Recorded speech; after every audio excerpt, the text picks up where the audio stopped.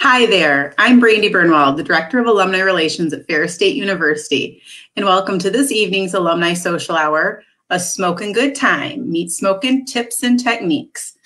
Tonight, we're going to receive a little education on smokers, spices, differences in meats, and other tips and techniques that will have you smoking in no time, or at least with a better understanding of the process to get you started. For this presentation, there were no supplies that needed to be purchased ahead of time. Tonight, just sit back and relax. The event will be roughly 60 minutes, and anytime during the presentation or at the end, you may click the Ask a Question button near the bottom of your screen, or type a question in the comments section if you're watching us live on Facebook. We will work in the questions when possible, or definitely catch them at the end of the presentation. And you don't have to worry about taking notes. If you miss any part of the presentation or would like to go back at a later date to review a section, you'll be able to play back tonight's social hour beginning tomorrow on this website under past events or on our Facebook page at Ferris Alumni.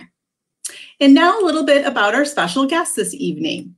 Casey Payne is a 2008 graduate of Ferris State University from the Construction Technology and Management program and is the Senior Environmental Specialist with VRX Incorporated. Casey and his family currently reside in Fort Worth, Texas, where he spends most of his free time creating the perfect smoked meat. Having competed in numerous barbecue competitions over the past five years, he has made a name for himself and his Smokin' Seven barbecue company with a special brand of spices. And without further ado, I turn it over to Casey to introduce his special guest this evening and begin our March Alumni Social Hour. So let's get smoking, Casey. Thanks, Brandy, and thanks, Bulldogs, for tuning in. Hopefully, along this tutorial over the next hour, I can teach you guys a couple things, or we can uh, ask some questions, try to get where we need to. I uh, couldn't do this alone. Had to bring somebody in from the from the area who is also a Ferris grad. Uh, he's a grad of the criminal justice program in 05 and is a proud public servant in the DFW market and is also a team member of Smokin' Seven Barbecue. And let me introduce you to Ryan Bloom. How's everybody doing? Thank you for joining in tonight. So, if anybody's got any real quick questions, throw them up in the chat and we'll we'll start from there. Um, we'll give it like 30, 40 seconds, see if anybody's got anything. If not, we'll go right into the first start of the first start of this. Um, a little bit about myself. When I moved down to Texas after attending Ferris, kind of got heavily into the smoking scene, and it just absorbed all my time and got more and more involved and just continued to do it, developing, getting better. Uh, a lot of the stuff that I do is self-taught, so it's uh, may not be the best, but there's certain people out there on the on the uh, competition trail that like it, the judges. So I've done all right with that. Um, but you never know what you're going to get into. Everybody's palate's different, so cook the way you want and eat the way you want to. So, uh, Ryan, do you see any questions yet? Not yet. Okay. All right. So first of all, we'll start. We're going to go over three types of smokers. Uh, we're going to go over pellet, a charcoal wood vertical drum, and we're going to go after a offset style smoker. Uh, we're going to go in order of beginner to hardest, starting with pellet, then moving on to the the vertical drums, and then to offset. So let's uh, do some moving here.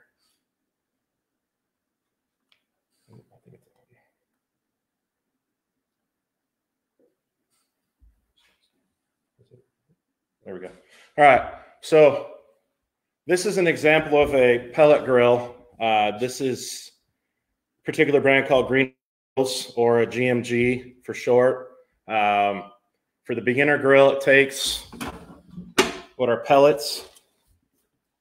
They're a lot of people think they look like rabbit turds, um, but there's different flavors you can get for different types of meat, and it fuels fuels this it travels through the firebox into an auger system that goes into the to the cook, main cooking chamber.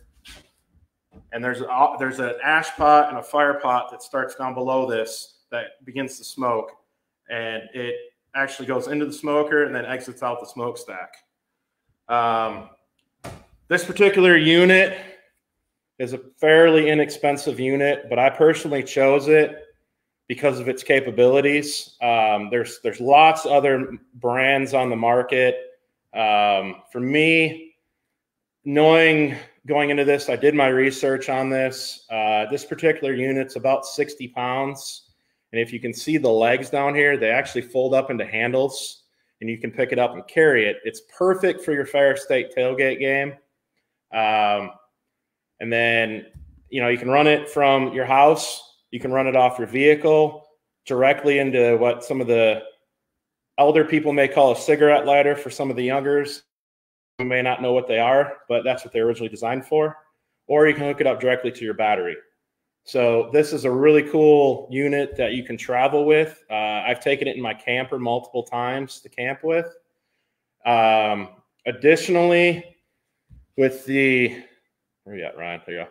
This is the the book that comes with it, but in that book, it actually has different recipes that recommend or how to show how you can cook with stuff on there, and it, it's from one end of the spectrum to the other. But you can read through this. But the real cool thing is, is Green Mountain Grills, and this is what the advantage they had over the other brands, is that they have an app system, and the app has all these recipes in there, which are called profiles, and the profiles can actually be set up where you set it up on your phone after connecting the smoker via uh, Wi-Fi or mobile data, and you just basically hit go, and it will cook your meat for you. So you could be at your your football game or your kid's soccer game, you know, miles away, and it will run for you. As long as you've got pellets, you're good to go with it. It's really cool. It's one of my favorite units that I have. Uh, relatively on the low end of pricing, and they're they're pretty versatile too as well. So that's the it's called the Davy Crockett unit. They make three units, but uh, so that's that's what I like to use on my and uh, the weekdays, I like to cook on that one. Let's see if we've got any questions. No questions yet. All right. Oh, we got another question here. What do we got? Uh, do I have a list of products or spices for sale? As bad as this sounds, my website is down currently. I'm having some issues with my provider. Uh, I do have some products here. Um, if you guys are interested, we can talk when this is done and I will get some out to you. Um, I don't want to talk about a salesman here while we try to do this. So uh, we can try to go forth with that. Yeah. Yeah. Uh, another question here. Choice of wood for briskets, pork butts.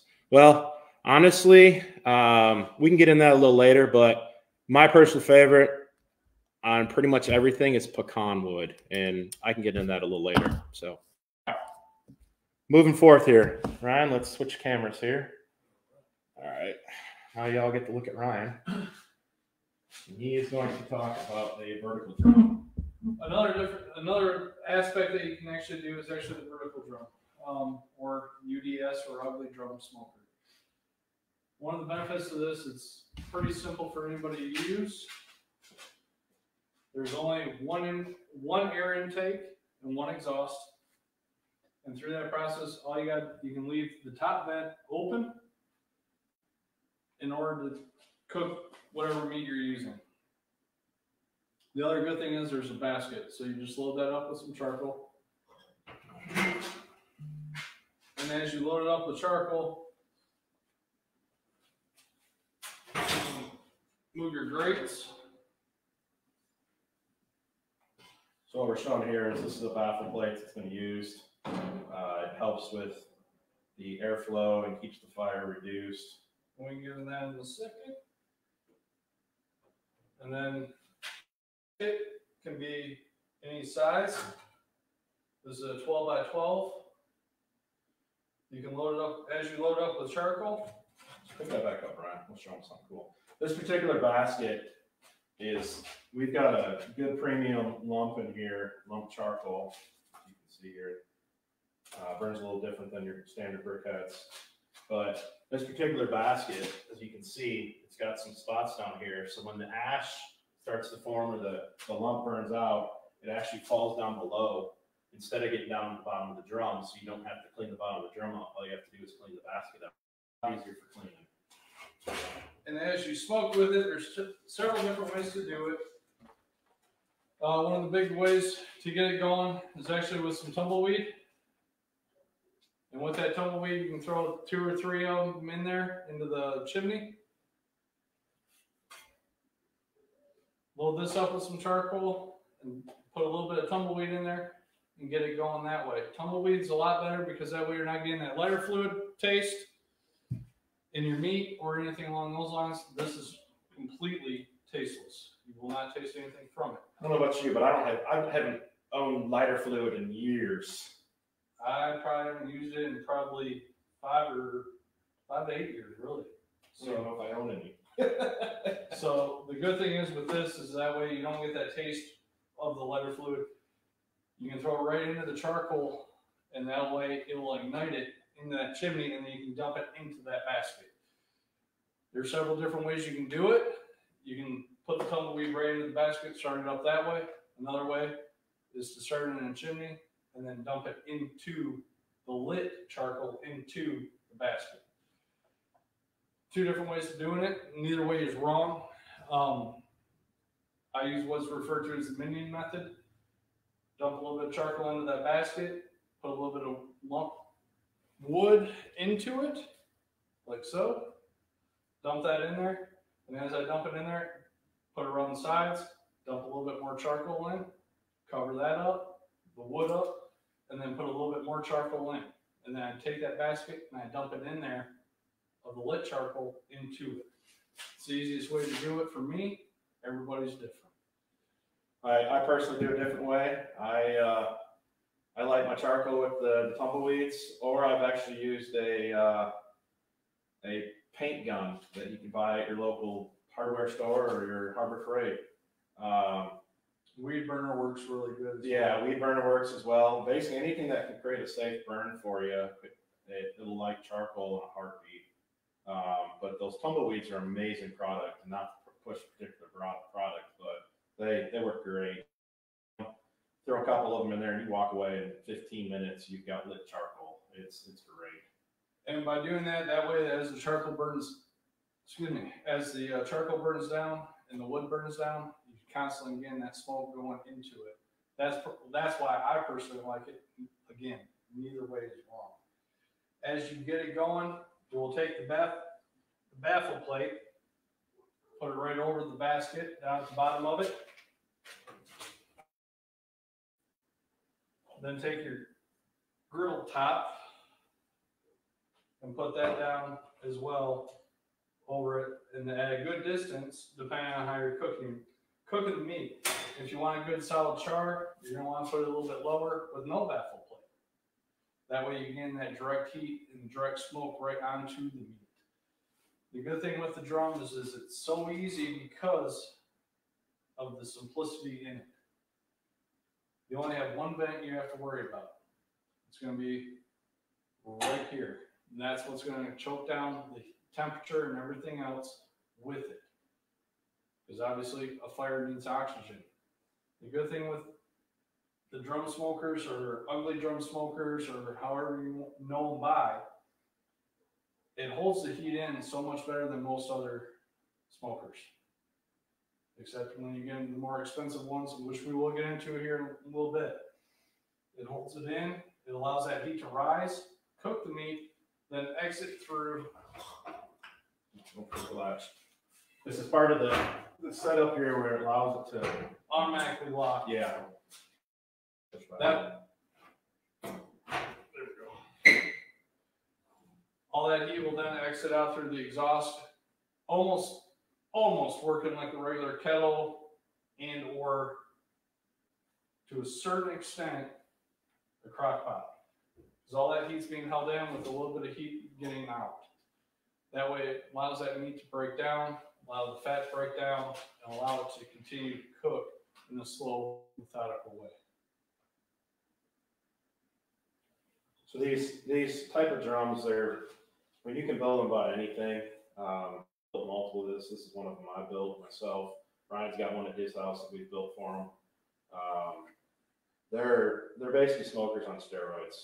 Uh, this this particular unit, you can do a brisket running at a higher temperature, upwards of four to six hours, maybe, depending on the size. Uh, you know, every every cut of meat's going to be a little different, but they they cook so hot and so efficient that they are they're they're great to use. You set them and you walk away. If you've got a higher grade or a good premium lump charcoal, they will work great for you. As long as you can seal it, you get a tight seal on them, keep that that heat and airflow inside, they'll they'll run for hours. And you just set them and walk away. They're good Just- cookers. And just last weekend, I did that ten pound shoulder. And it took ten hours and I only had- didn't even have to refill the basket. So because of that, how well it holds the heat, it allows it to cook so much longer and s- and a lot slower as well. Which is a huge benefit, so that way you're not going through bags and bags of charcoal as you're cooking. Any questions?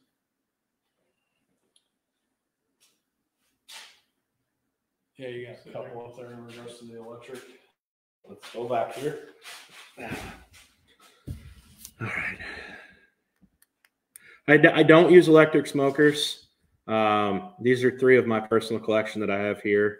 Um, I just, I've never really gotten into them. Um, I just, my most electric is going to be the pellet smoker. Um, I just, I just never really tried them, honestly. I, I just don't i personally and it's not to knock the electric smoker i don't think they produce the kind of flavor as other styles do. Um, but you have to be able to buy what you can afford or what you want to use. I mean i started off on a $40 drum smoker from walmart years ago and i taught myself how to use it. I've killed a lot of food a lot of horrible food. I've eaten a lot of barbecue sauce and a lot of food. Um, and I still mess them up today. But as to the electric, I really don't have a whole lot of experience with them. I hope that answers your question. Uh, precise temp control with the barrel smoker is it time and time based? Well, realistically, there's ways of doing it, um, and this can get into. I guess I'll get into it now.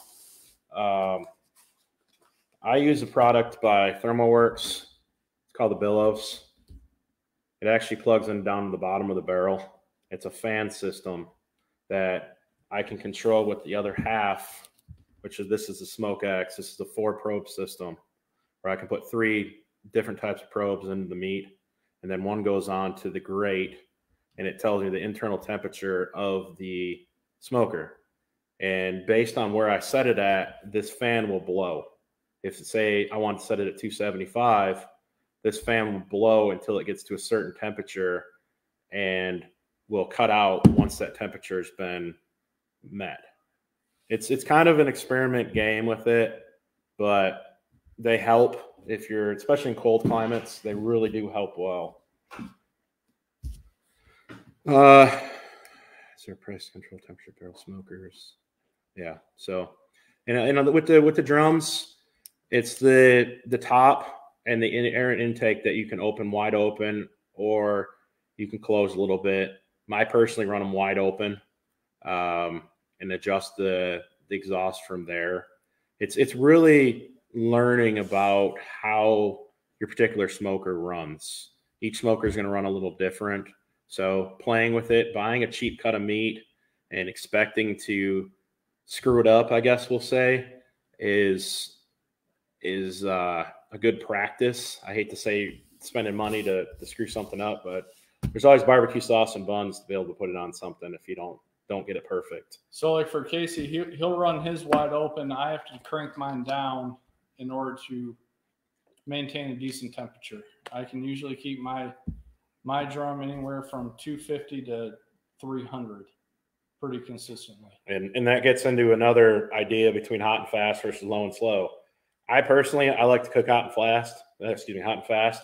It's just I find that it produces the same amount of product as low and slow, but less time. I mean, time is money, and I don't want to sit outside for ten hours if I can do it in five. It's just Well, how I am. Degrees like it you're correct. Yes, if it's nice outside, you get inside and have a couple drinks or enjoy what you got, sure. But my type of cooking, if I had to pick one, would be hot and fast. I just, it's just what I like a little better. So just a few weeks ago, I ended up doing get kind of give everybody an idea on how big this drum really is, though. Too, I did eight whole chickens, cut in half on my drum, and I was able to do eight in roughly two hours with cranking the heat all the way up to about 400 to 450. But then again, that was also with the rack very low because you can set your drum up any way you want. Um, mine's set up a little bit different than Casey's um, by his recommendation. Um, We we built his up to be able to cook chicken. yes, That's what he wanted. His has a internal rack system inside of it that can actually has five different settings inside of it where the rack can go down to five different levels. And on the fifth level, it's sitting right on top of the firebox. Um, my system is is set up for two sets of different grates in there. Um, it's just it's really you can get online, go to, you can type in UDS or ugly drum smokers, and there's tens of thousands of however many different models you can build or look at. I mean, there's zillions of pit builders for them. Uh, you know, the, the key is is if you're going to build one, do a little bit of research, but start out with a food grade drum. That's that's the biggest thing I can recommend to you. You don't want to get an oil drum and cook it because that oil will get in your food and you're going to get sick. That's that's key. You don't want to get sick. Um, with the food grade the food grade drums, they do have a liner in them that you got to burn off. Usually a pretty good fire in them, or you can take a weed burner and burn them out. They're red. Um, you burn that out, and you're good to start building. So you do it relatively inexpensive. I know guys that have built them for fifty bucks, and then there's guys that build them for over twelve hundred. So it's really what you want into them.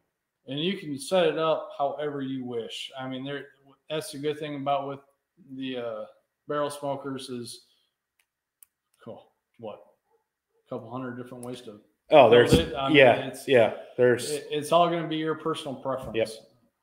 It's they're really cool, really versatile. Um, you know, you can go into the hardware store and get most of your parts. So they're they're pretty cool. But starting off with a good drum is the first thing that you need to start with. Uh, next question I see on there: Will the pack brisket fit on the pellet smoker? Depends on the size of the the, the brisket. A Packard. Yes, it will. Will it? Yes, it don't will. Yes, it really depends on the size. Um, obviously, if you go get a 20 pound brisket, it ain't gonna fit on there.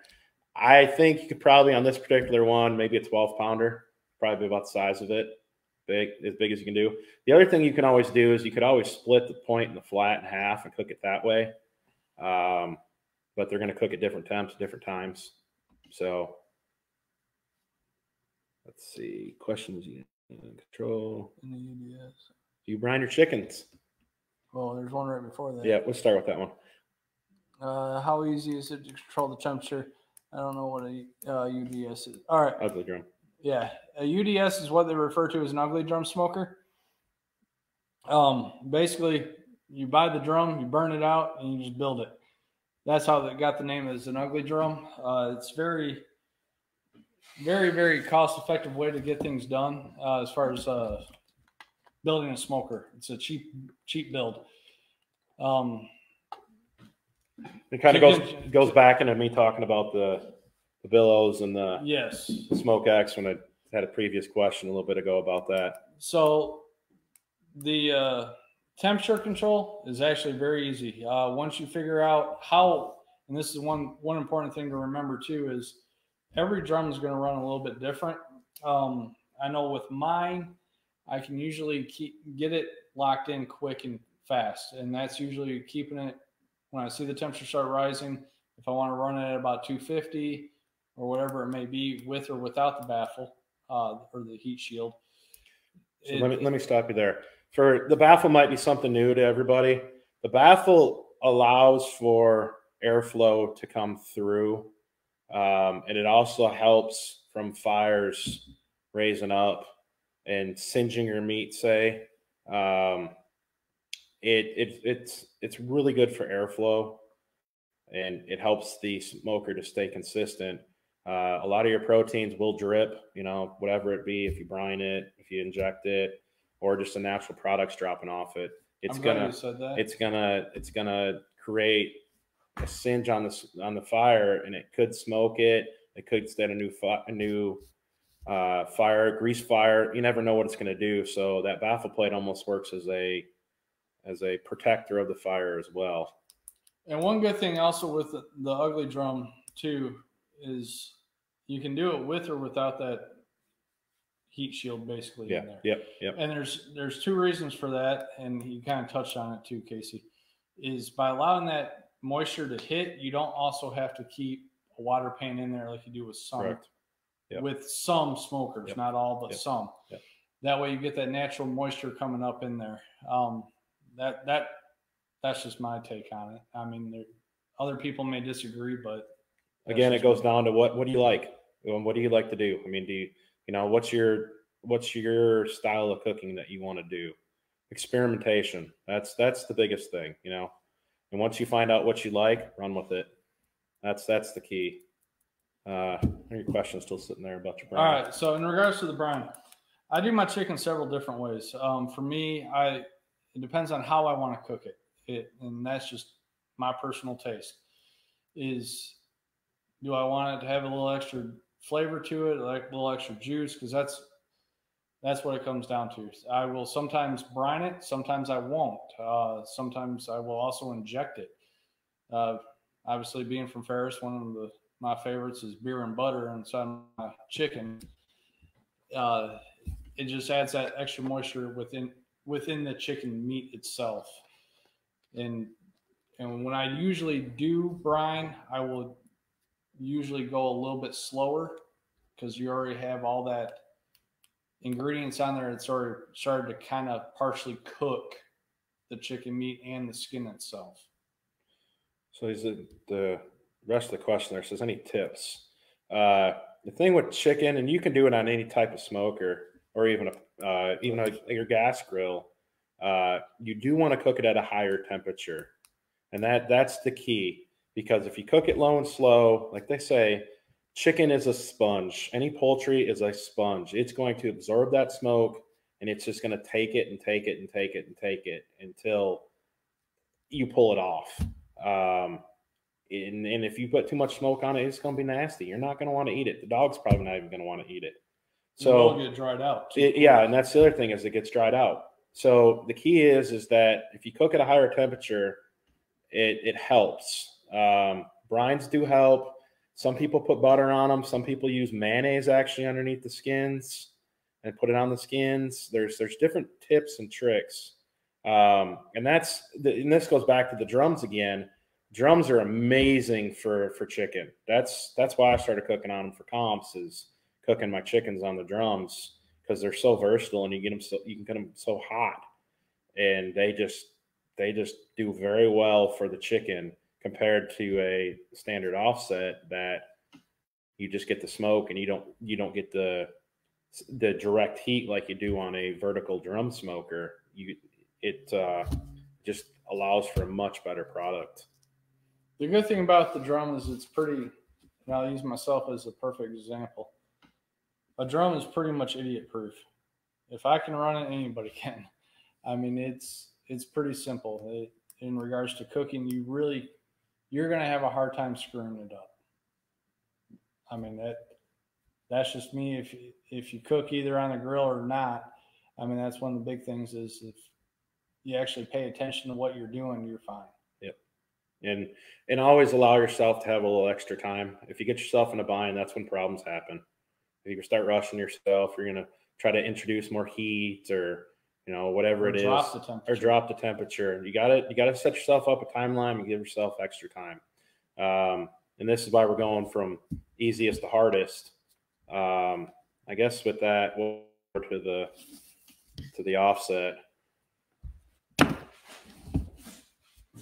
So this is a custom offset smoker.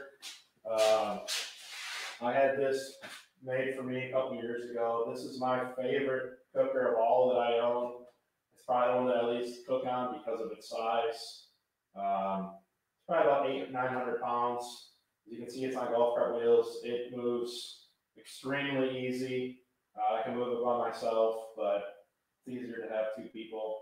Um, it's a standard flow versus reverse. So standard flow, firebox chamber, uh, smokestack. If it was reverse, the smokestack would be over here. With that being said, airflow comes in here, your firebox down here, which I'll get into in a minute.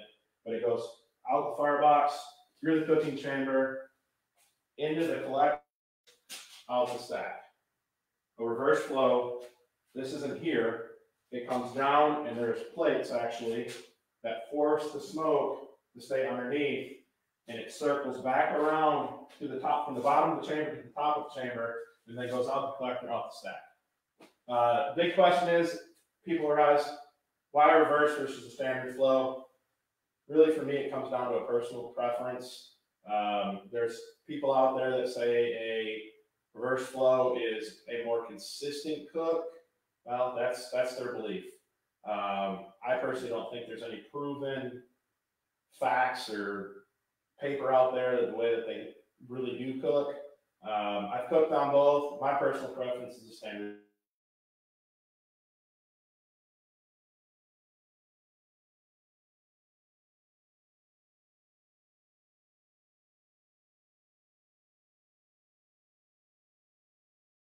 I've cooked on it a lot. It's not a great system. And it's, it's raised airflow. Actually, I'll close this here. So your air intakes are here. You just, you can stack your wood up here. Um, I usually start with the charcoal, a little bit of charcoal and a few sticks. Um, again, my personal favorite to use is pecan wood. And it's just standard Texas pecan right there. Um, pecans are real, real easy flavor. It goes with about everything. And mild. Yeah, yeah. So, kind of just show it off a little bit. And it's got crates here, they come in, they can meat. Um, obviously tell us I cooked on. But both these chambers are, they're pretty, they almost cook identically. Uh, and as you get to know the smokers, there's gonna be hot spots usually. Um, favorite spots where you like to cook at home.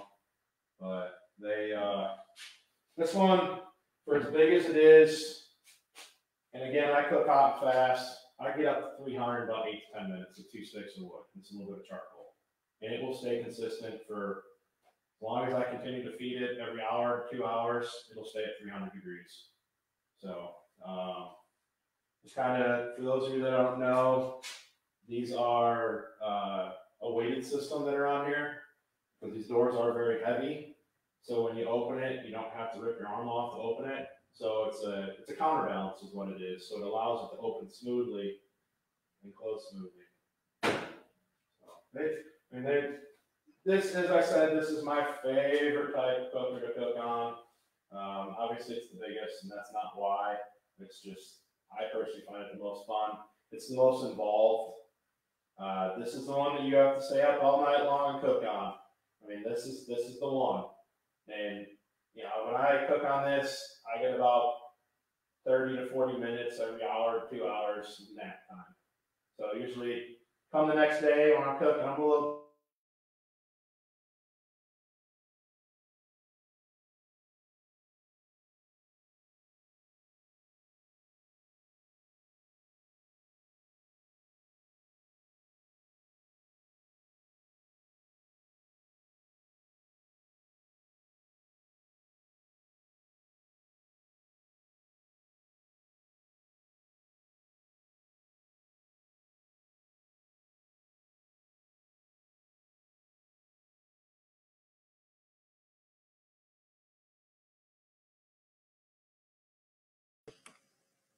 Casey, Ryan, I think we've lost audio.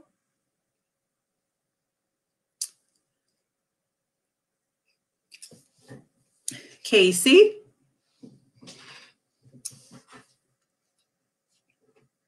Casey, we've lost audio. He keeps talking. This is what happens when we do virtual television.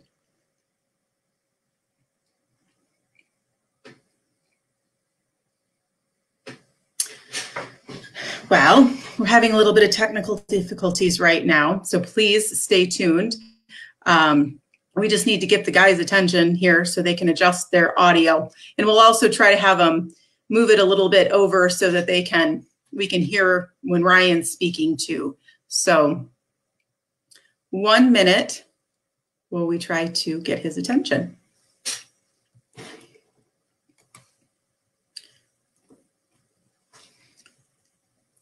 Perhaps he's checking.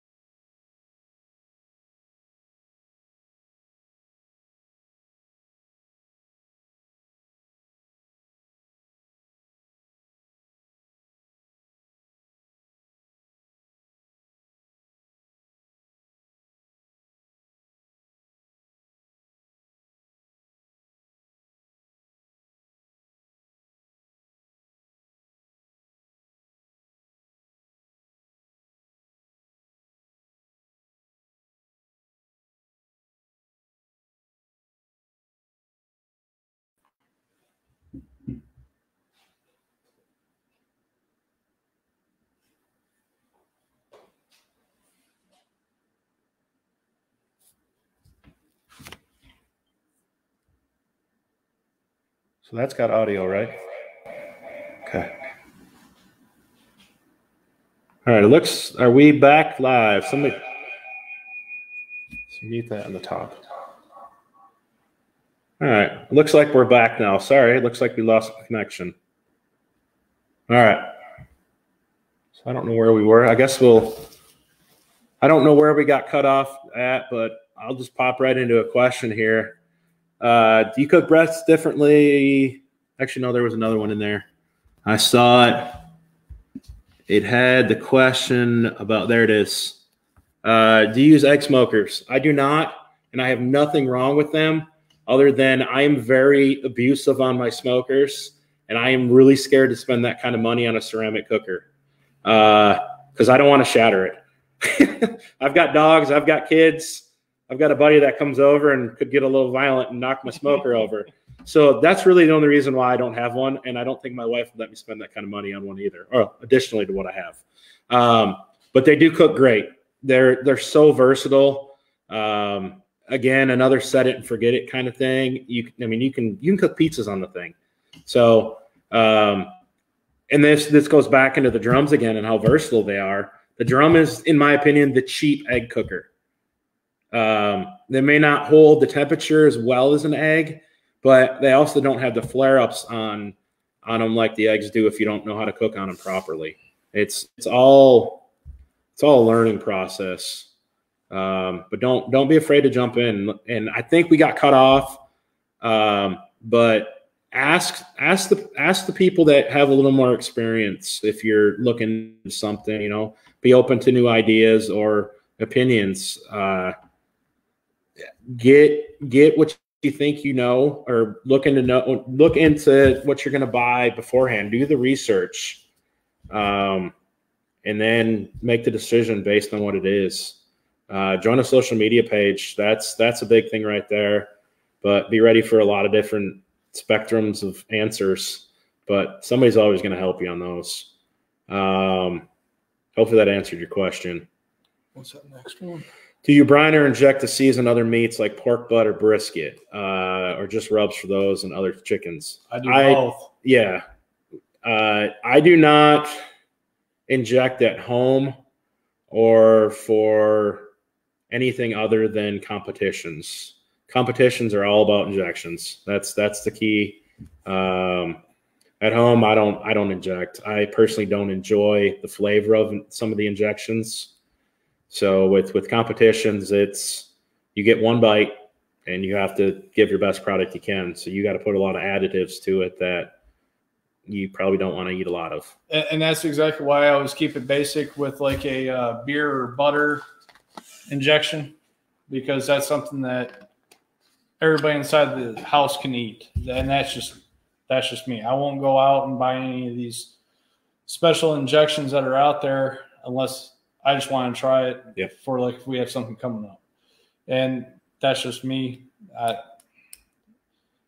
now rubs, yes, I will rub everything. Yep. That I will put whatever and anything I can on it that tastes good. What you like. I mean, yeah. that's that's it's going to come down to palate. If if we walked into my my kitchen right now, I have an entire probably four shelves full of different spices.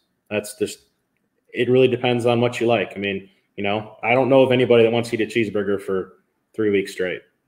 That's just not how it works. I mean, you know, you don't want the same thing every time you cook. You you want to change the flavor up if you can. So you find something you like and run with it, sure, but eventually it's going to get old. So be open to new ideas, try different stuff. Uh, you know, that's that's really comes down to palate, as Ryan said. And the next one, do you cook breast differently than thigh or drums? I do.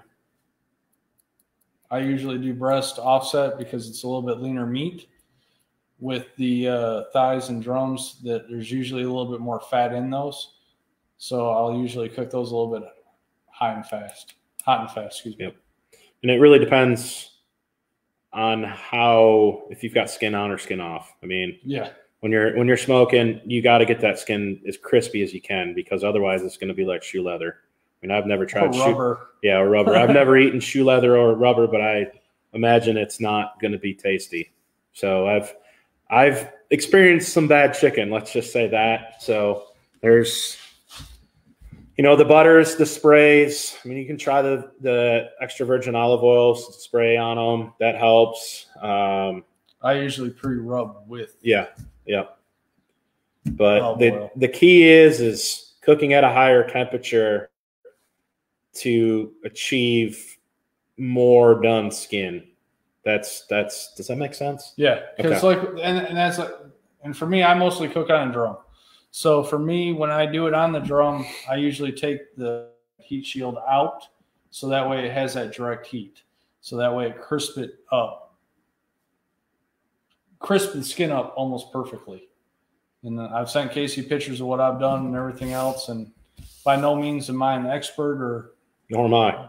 But yeah. Me personally, I like the skin to be a little bit more, have a little bit of crisp to it. Yep. Yep. Go yep. with that good old fashioned backyard barbecue style. Yeah. So we'll, uh, with our little loss there, we're kind of a little behind on time, but, um, so your, your pork butts, your chickens, your beefs, they're all graded on a particular scale from USDA. Um, Pork is is rated from utility from one to four, um, and it's based on a fat thickness and muscling. Uh, utility is usually you know bottom of the barrel. Level one is is kind of climbing two, three, and then four being your best.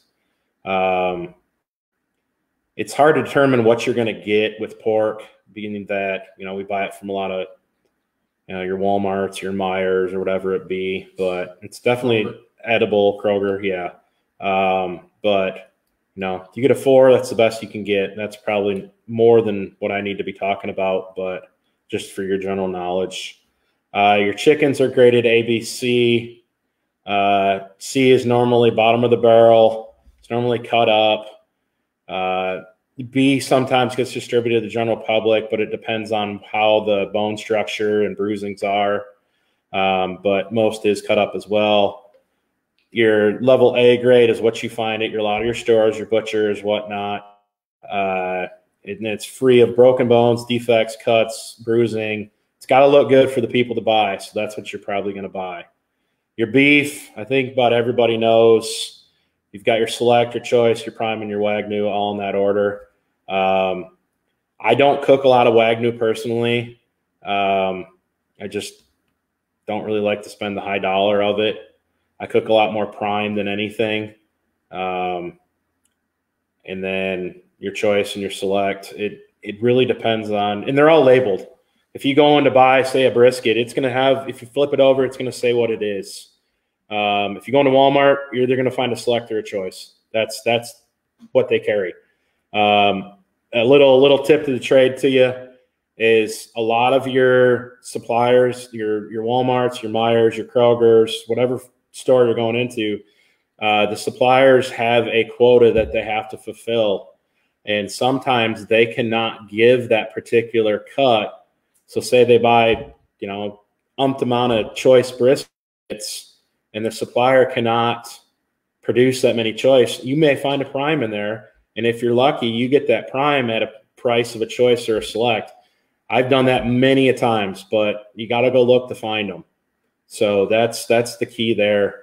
Um, obviously, you're going to notice a difference in taste if you cook them properly, but all in all, my favorite cut is a prime. I mean, Ryan, I don't know if you have a different opinion on that. I've yet to master how to do a uh, brisket, so I'm gonna keep myself out of this. I've, I've cooked a couple in my life, so I can do all right with them. But steaks and all that, yeah, that, I use primer choice. What we got here? Uh, all right. So we still don't have any questions. Anything on? Nope. Okay. Um, yeah, just been back there on home base trying to show off a few of my cooks. But um, tools of the trade, I will throw this one out here. This is a MK4 by ThermoWorks. Uh, I have a case on it, it glows in the dark, and it is magnetic. Um, this is actually a gift from my wife because I wanted one for so long. But these things are amazing. They are accurate as can be. They hold up. Uh, I have a buddy that uh, runs a restaurant. It's a rotisserie style smoker that he has. He actually set it on one of the racks to do something and moved on to the next protein he was using.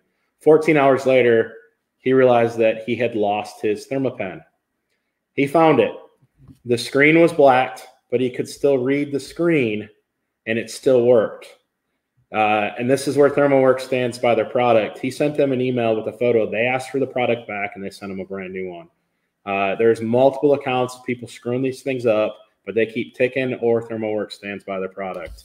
Um, as you can probably see, it's 78 degrees in Texas right now in my garage, but they're instant. I mean, they're, I mean, I'm putting it on my hand and it's already dropping. Oh, nope, it's going up. So it's, they're great products. They're great for spot checking. Um, if you have to buy anything, this is really what I recommend. They're a little pricey. Uh, I think this unit without the case, the magnetics, right around 100 bucks, 80 bucks, somewhere in there. But they do have sales.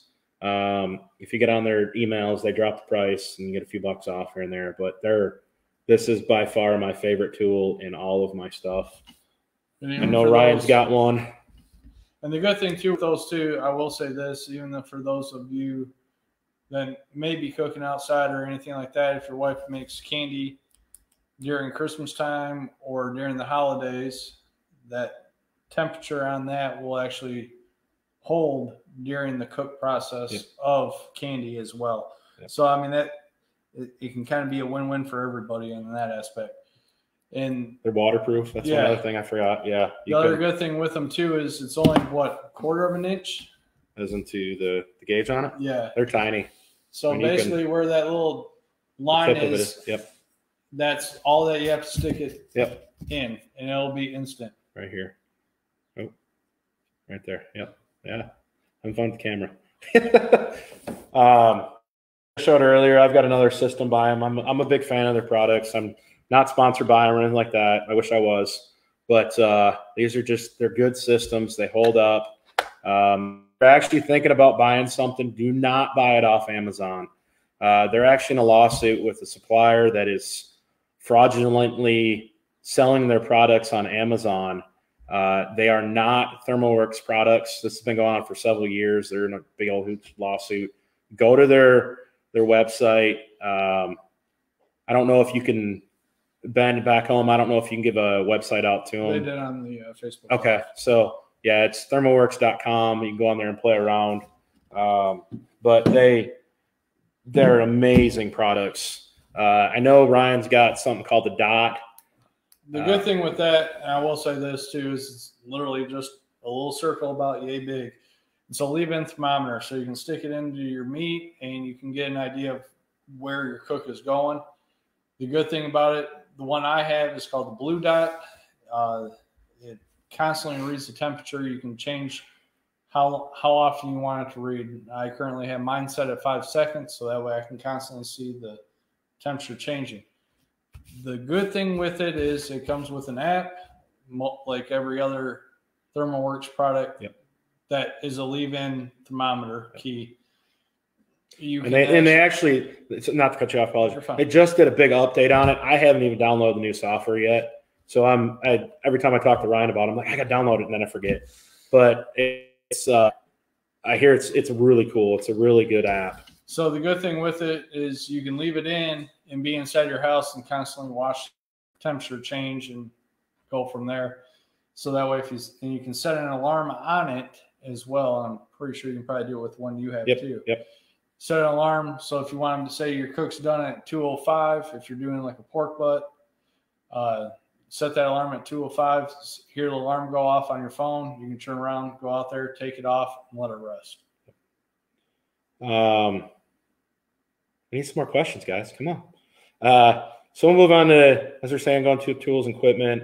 Um, there's a few of them, but you know, you can get on the websites, you can get on the Amazons or the sites and buy the the other products. But in my findings, you're just going to buy another one after that. Um, this particular MK4, I think, is going on six years. So that's just word to the knowledge for you. Uh, what's a what's a dot run? Uh, about 60 bucks. And John uh, Willoughby, you are exactly correct. They are awesome products. Yeah. So if nobody has used it, I suggest investing Yep. the money. Yep. That's one good thing is, They make great Christmas and birthday gifts. or Father's Day. yep. Uh, so if you were to go buy a smoker, say tomorrow or even tonight, whatever, uh, next couple days, something like that. What's what's good to cook for beginner, eating intermediate, or skilled smoker? Um, I'll tell you this: pork is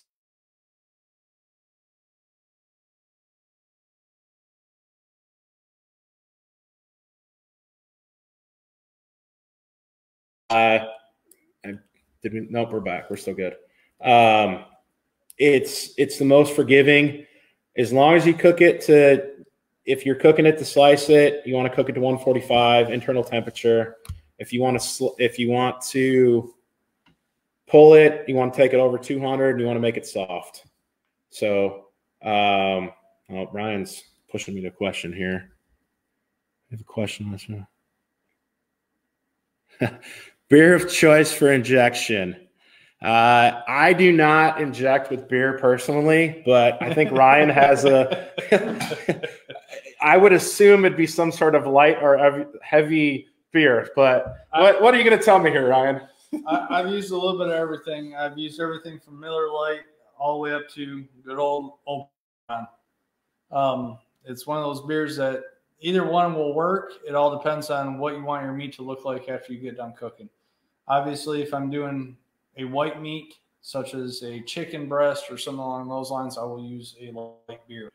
If I'm doing uh, a, a steak or anything along those lines, if I wanted to inject or red meat, I will use either, believe it or not, either red wine. Yeah, red wine's Or- great for it. Even with game, Or- game, game Yes. is a game. You know, your your venison. You know, even you could probably do it with um, I've done turkey. I've done a marinade with. Yeah, yeah. Wine is amazing.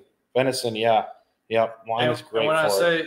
Don't go out and buy any uh, Grand Traverse, Yeah, there's no reason for that. Just find the cheapest bottle. Of six red wine. six dollar bottle of red wine, you'll be two, fine. Two buck chuck will work Yep. just fine. Yep. So there's a second part of that question there.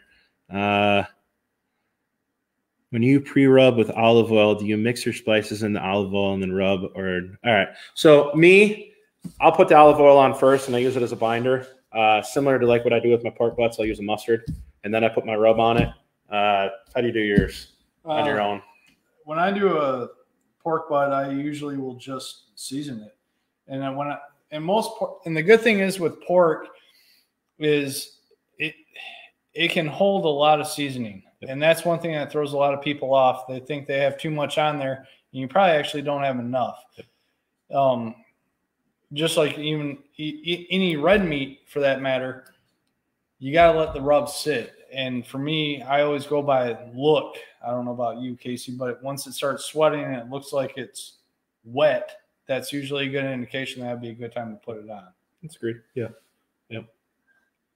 Something new, or is that the last? I think that's the newest one. we got, Uh, let's see. Do you mix your spice? I will usually only, in- in regards to the other part of that, uh, with olive oil or any type of oil, I will only put about roughly a tablespoon to a Just- tablespoon and a half. yeah, minor, minor. just enough to add a little bit to it. Yeah. Uh, and, and the only reason I do that is because you're going to end up seasoning it more, and that's just that that's me. I, I I'd rather have it be a little bit more flavorful, but I also don't want it to the point to where it's over seasoned. I hope that answers your question.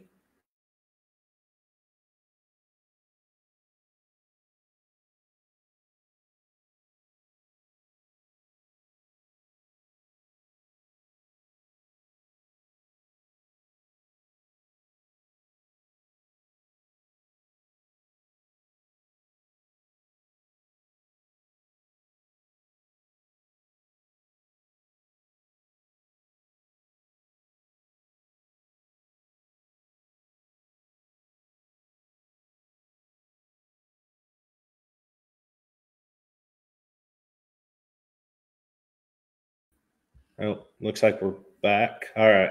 Okay. Now we're back. Sorry. We're having some connectivity problems. Looks like we're good to go. All right. So, uh, as I was saying, it looks like we've beaten pork to death. Uh, beef, beef's kind of middle of the road.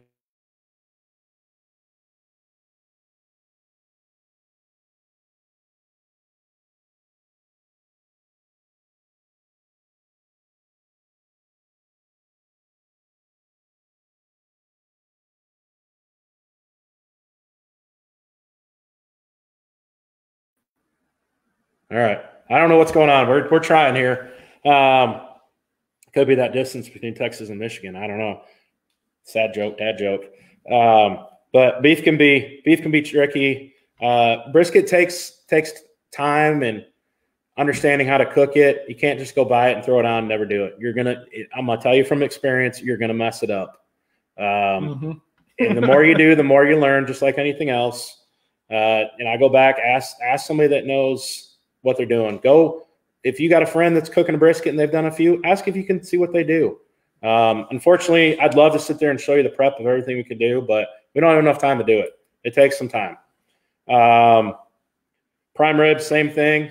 I mean, you know, watch watch the videos. Uh, a big one that I started watching when I first started getting into this was Malcolm Reed with with Killer Hogs. Uh, I think his YouTube page is How to Barbecue Right. It's BBQ. How to, YouTube. how to how, sorry, yeah, his YouTube, YouTube. page. Um, Malcolm will go over everything and step by step. step by step. Uh, he is a great guy personally. I've met him before. Uh, he will tell you everything he can give you except for his competition injections and rubs. But if you've got an at-home question for you, he'll answer you. Um, but Summy, what's his name? Uh, California guy. oh, are you talking about? Oh, yeah, I can't think of his name off the top of my head. He's another good one that will take you step by step Yep. as well. there's there's a lot of stuff out there. I mean, you can get on YouTube and look. You spend days looking. Um, my dad's gotten into cooking. He actually bought a GMG like I do, and every time he cooks something, he calls me for a recipe. So I, I send him the same way. Dad, get on YouTube and find something, and then he learns something and asks me, and then I'll walk him through it. You got to start somewhere. That's that's the key. And then once you you get into it, then you can ask the questions. You know, you can't you can you can get the step by step basis of it, but it may not work for you. It may not the process. You might want to do something else. Um, and again, chicken, in my opinion, is probably one of the hardest things to cook because of the skin doneness. Um, High, high temp. yeah, high high temp. Do's and don'ts. I'll tell you from experience right off the bat. Uh, one of my first ever barbecue competitions, we partied too hard, and we'll leave it at that. we barely got our meat in. Uh, our chicken wasn't cooked, so uh, a big one. Allow yourself extra time, especially if you're feeding guests or you're having a party. Um, don't throw something brand new on there that you've never cooked. Um, now, if there's people you want to upset or try not to tell them to come back to your house, do what you want. but yeah, that's that's your your your comment, not mine. But uh, yeah, so take the practice. Uh, don't be af- afraid to fail. I think we've talked about that already. But continue. You're going to fail. Um, you're going to learn from your experiences, and, and learning is going to be teaching. So, and find out what works for you. Uh, not everybody's palate is the same as yours. Um, me personally, I like a lot of pepper in my stuff, and I don't. So, um, you know, do what works for you. Um, and again, reach out if you've got questions. I'm glad to help you. But uh, we just had another question pop in. Oh, a lot of fun. Thanks. Appreciate you tuning in. Um, I guess we'll kind of get back to the back of it. I know it's one of the first questions. I do have a line of rubs.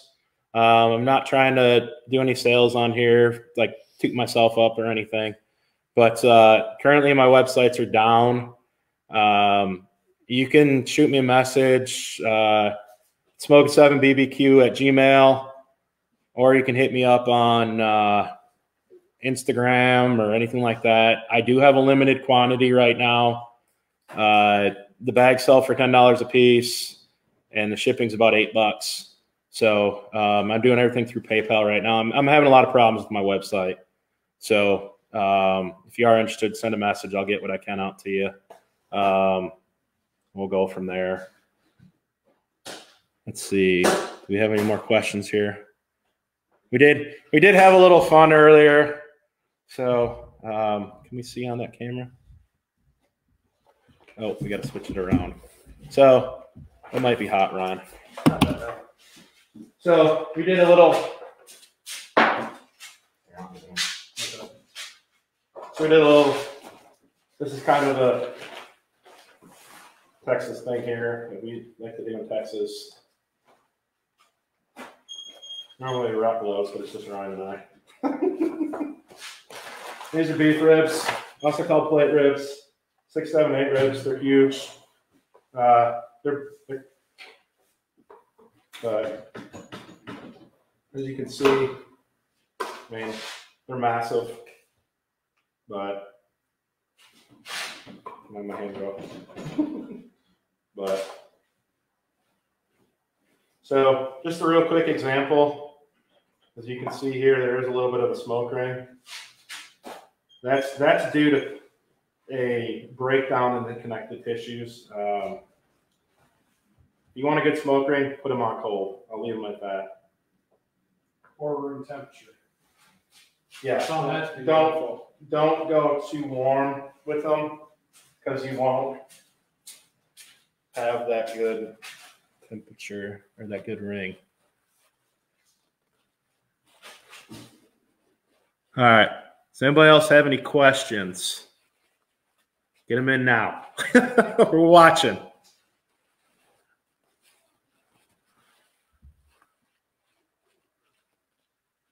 All right. Looks like we're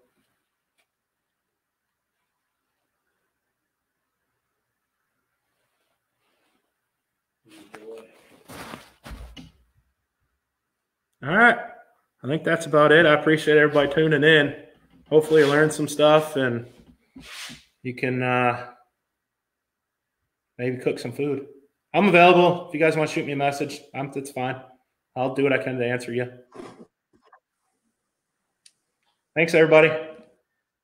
Thanks, Casey. Don't go away yet. Um, Okay. First of all, thanks for making us all hungry, showing us those ribs because, you know, here in Michigan, Ben and I aren't chewing on any of those right now. So thanks for that. And then I'm not going to brag, but I am lucky enough to have some of those spices um, that Casey talked about and has um, sent me. And uh, they're, they're pretty darn good. So I know he doesn't want to toot his own horn here today, but Um, I, I don't know if you want to talk just a little bit about them. My family uses the white more than Yep. we use the red. So Um, uh, and- red was my first I ever made. I originally made it for pork, um, but it's been kind of developed. It's amazing on pork. It's it's pretty much I do on venison. yeah pork and game.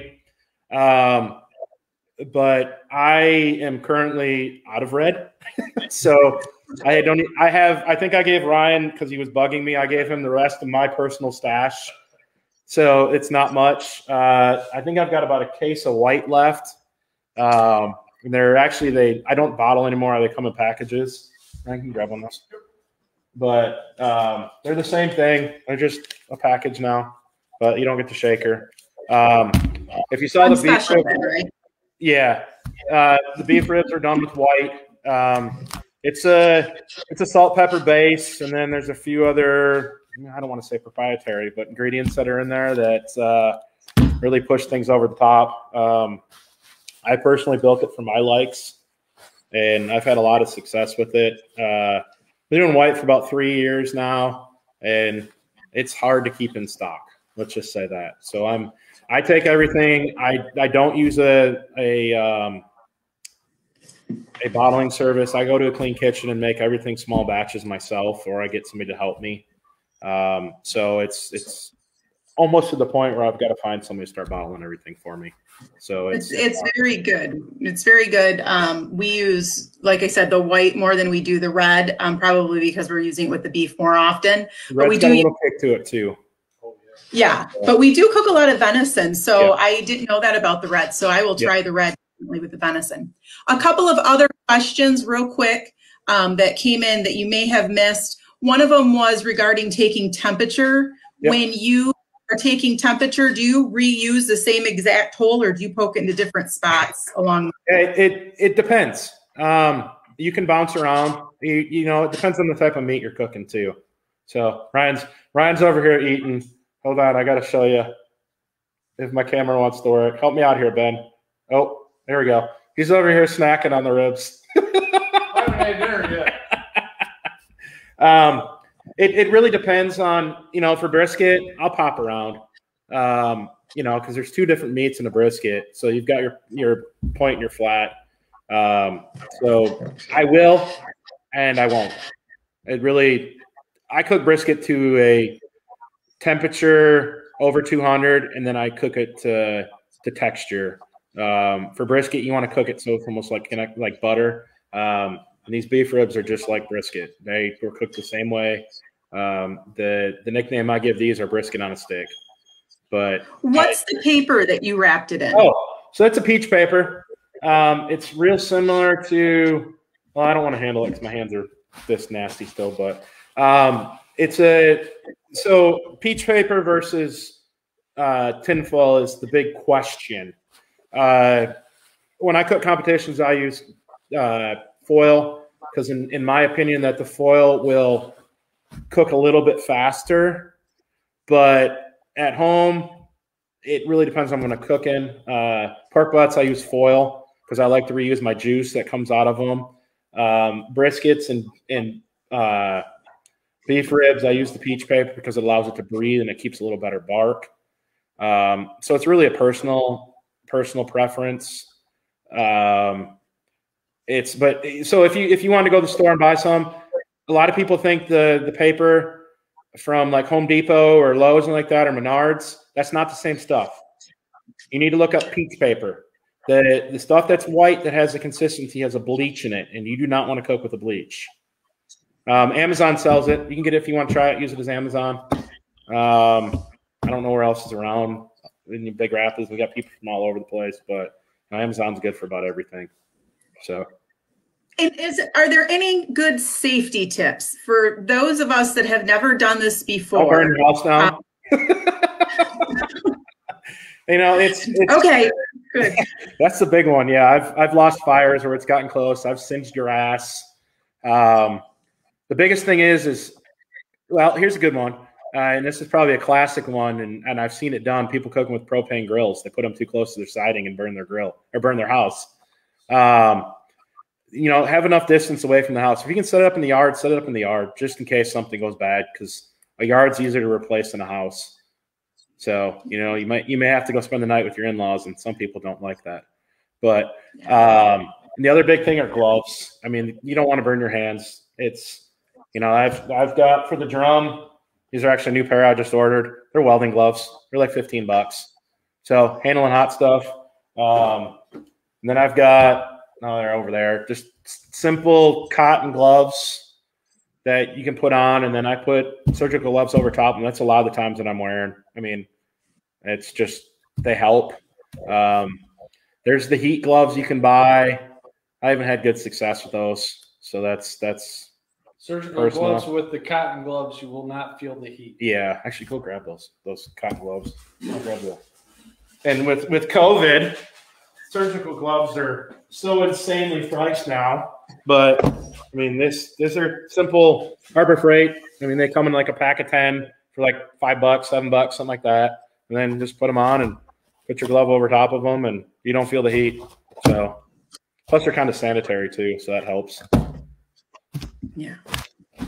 What else? Well, awesome. Thank you guys so much. I, you know, I know today was a little difficult in Texas. A lot of storms went through. Um, thank you for moving into your garage for us yep. tonight yep. to do this presentation. Sometimes we just have to go on the fly.